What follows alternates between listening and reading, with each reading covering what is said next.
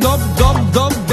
البلوجر التركي ياسين جنكيز مصر غيرته وبعد ما قعد كام يوم في مصر لبس عباية صعيدي وبقى بيقعد مع المصريين بياكل معاهم محشي وملوخية وكأنه واحد منهم. البلوجر التركي الشهير بأبو كرش حاله تغير لما جه مصر وبقى ماشي في شوارع مصر لابس عباية صعيدي وطاقية على راسه. رواد السوشيال ميديا تداولوا مقطع فيديو طريف ظهر فيه البلوجر التركي ياسين جنكيز أثناء وجوده في مصر. البلوجر التركي كان لابس عباية صعيدي وحاطط طاقية على رأسه. ظهر في وسط اخواته المصريين وهو بيرقص رقصته الشهيرة باستخدام كرشه وظهر في فيديو تاني وهو بياكل محشي وملوخية مع المصريين. وبعد الفيديوهات دي في ناس كتيرة قالوا إن مصر غيرته وبقى واحد مننا. البلوجر ياسين جنكيز أثر حالة كبيرة من الجدل على السوشيال ميديا وده بعد ما قرر يجي مصر ويعمل مواقف طريفة مع المصريين. وطول ما هو ماشي في الشارع بيضحك المصريين برقصته الشهيرة وخفة. دمه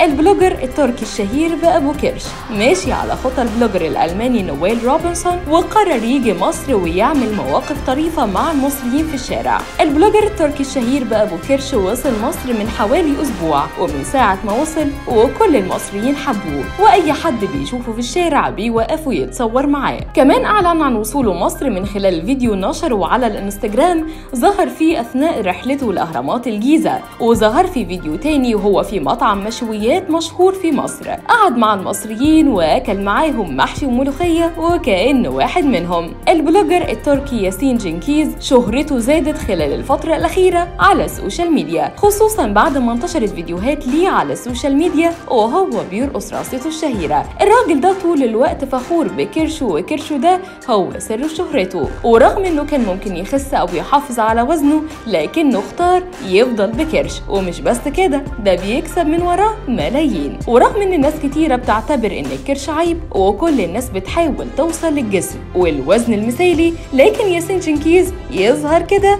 إنه مقتنع بالمثل اللي بيقول اللي ليه كرش يسوى قرش. ياسين جنكيز الشهير بأبو كرش هو واحد من نجوم السوشيال ميديا. اشتهر خلال السنوات الأخيرة بالفيديوهات اللي ظهر فيها وهو بيرقص رقصته المشهورة باستخدام كرشه. ومن خلال الفيديوهات دي بقى واحد من أهم الشخصيات العالمية وبقى عنده متابعين بالملايين. وبدل ما يتحرج من وزنه الزائد بقى واحد من المشاهير. ولما جه مصر وقعد وسط المصريين حاله اتغير وبقى يلبس عباية صعيدي وطاقية. إيه رأيكم في شخصية البلوجر التركي ياسين جنكيز؟ هل دمه خفيف بجد ولا لأ؟ شاركونا التعليقات.